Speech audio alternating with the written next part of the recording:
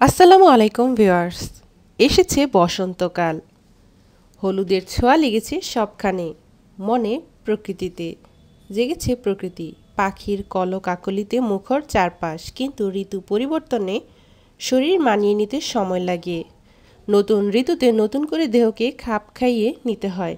এতে দেখা দিতে পারে নতুন রোগবালাই। বসন্ত ফুলের ঋতু। ফুলে ফুলে ভরে যায় চারপাশ। ফুল হলেই কিন্তু খুব ভালো নয়। কথায় আছে না, ফুলে কাটা থাকে। ফুল বেশি হলে পরাগ রেণু বেশি ছড়িয়ে পড়ে বাতাসে। যত বেশি পরাগ রেণু, তত বেশি হাঁপানি, সর্দি, কাশি, শ্বাসকষ্ট। ফুলের পরাগ রেণু অ্যালার্জেন হিসেবে কাজ করে হাঁপানির প্রকোপ বৃদ্ধি করে, তাই এই সময়টাতে হাঁপানি আক্রান্তদের কষ্ট বাড়ে। হাঁপানি আক্রান্ত হলে সাবধান, বাইরে বের হলে অবশ্যই মাস্ক পরুন।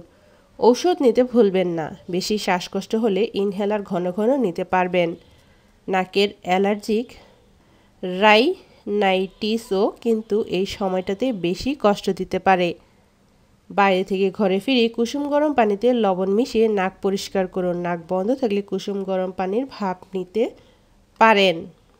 সর্দি জ্বর, যেটাকে আমরা ভাইরাস জ্বর বলি, সেটিও দেখা দিতে পারে বসন্তের শুরুতে বা মাঝামাঝি সময়ে। তাই জ্বর হলেই অ্যান্টিবায়োটিক নয়। ভাইরাস জ্বরে কিন্তু অ্যান্টিবায়োটিক কাজ করে না। কুসুম গরম পানিতে গা মুছালে জ্বরের প্রকোপ কমে আসবে। সাথে চলতে পারে প্যারাসিটামল। সর্দি থাকলে অ্যান্টি হিস্টামিন সেবন করা যেতে পারে। তবে জ্বর সাত দিনের বেশি থাকলে প্রকোপ অনেক বেশি হলে চিকিৎসকের পরামর্শ মতো চলতে পারে অ্যান্টিবায়োটিক। বসন্তকালে শীতের আবহাওয়ার সময়কার ঘুমন্ত ভাইরাসগুলো একটু গরম পাওয়ায় বাতাসের মাধ্যমে আশেপাশে ছড়িয়ে পড়ে। জল বসন্ত এবং হাম ভাইরাসজনিত রোগ। এগুলোকে আমরা সংক্রামক ব্যাধি বলে থাকি, কারণ এগুলো খুবই ছোঁয়াচে। জল বসন্ত তেমন মারাত্মক রোগ নয়, যদিও যার কোনো দিনও রোগ হয়নি, তার জন্য ছোঁয়াচে।